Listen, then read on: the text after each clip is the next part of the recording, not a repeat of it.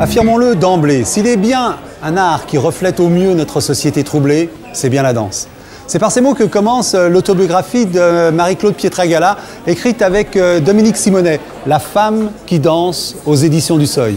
Un pas de deux, véritable déclaration d'amour à la danse appréhendée comme un art total. Une conception qu'on retrouve dans son spectacle donné à l'Espace Cardin à Paris du 5 au 10 février, puis en tournée, Sade, le théâtre des fous. On en regarde un extrait.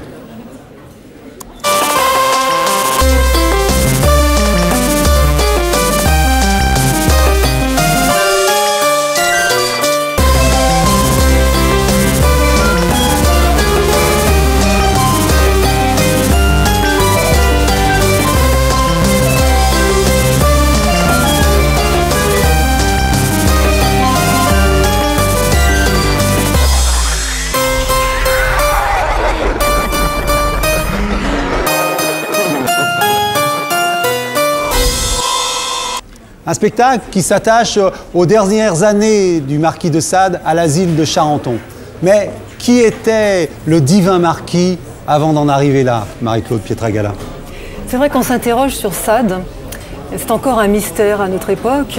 Sade est né en 1740, il est issu d'une famille euh, euh, de la haute euh, aristocratie, il suit une éducation chez les jésuites, il part après à l'école militaire, il, est pendant un an après l'école militaire, il participe à la guerre de sept ans avec la Prusse, contre la Prusse.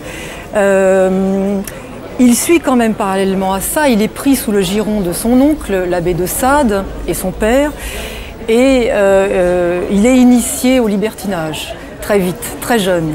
Euh, je crois ce qui est absolument sulfureux à son époque, je crois que Sade dit ce que son époque ne voulait pas entendre, c'est que le corps est intimement lié à sa pensée.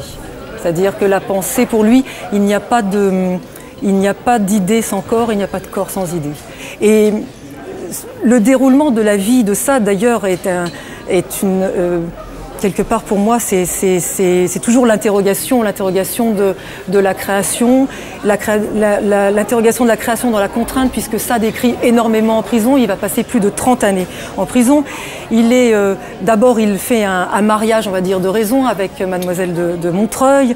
Euh, il a des, rapports très conflictuels avec cette famille et surtout avec sa belle-mère, qui va, par l'intermédiaire de lettres de cachet du roi, l'enfermer. D'abord, premièrement, l'enfermer euh, à Dans le donjon de Vincennes. Après, il fera. Euh, euh, c'est là où d'ailleurs où il va écrire. C'est là où il va commencer à écrire.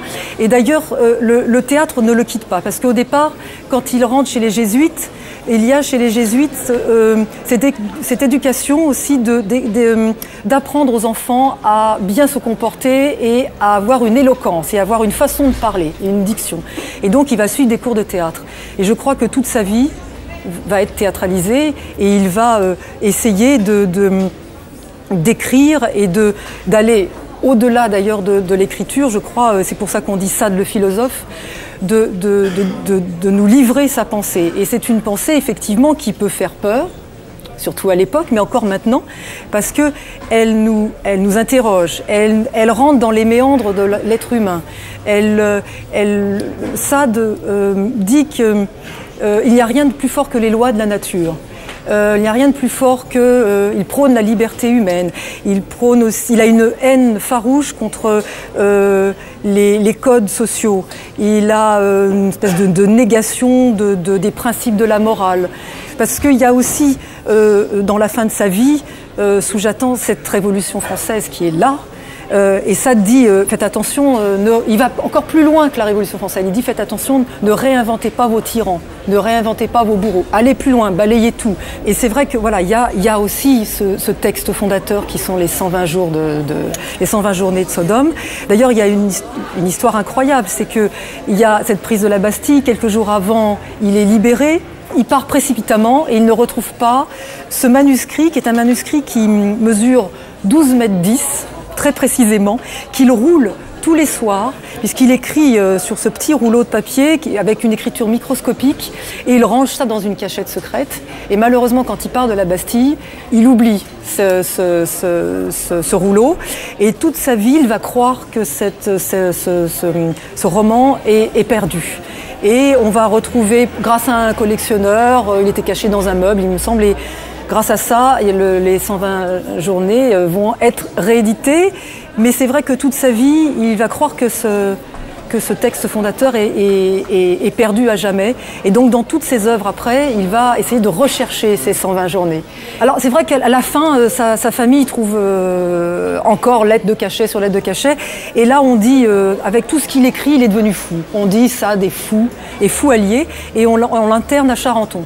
Et là, à Charenton, cet asile est dirigé par un abbé qui pense qu'à travers l'art, à travers le théâtre, les aliénés peuvent avoir une rédemption, peuvent se sentir mieux, se sentir mieux dans leur corps et se sentir mieux, évidemment mieux dans leur tête. Et il demande à Sade de, faire jouer ces pièces de théâtre par les aliénés, par les fous.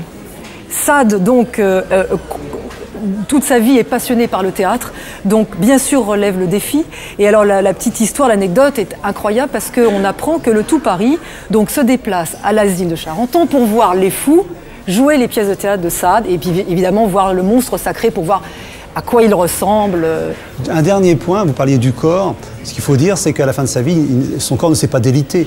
Euh, Sade ne meurt pas fou et, débilitant. Il est resté fort jusqu'à Ah oui, oui, il n'est absolument pas fou. Il a toute sa raison et justement, et, c'est ça qui est, terrifiant parce que euh, il finit en prison, il finit enfermé, il finit avec toutes ses chimères, avec son imaginaire, avec, euh, avec ses personnages.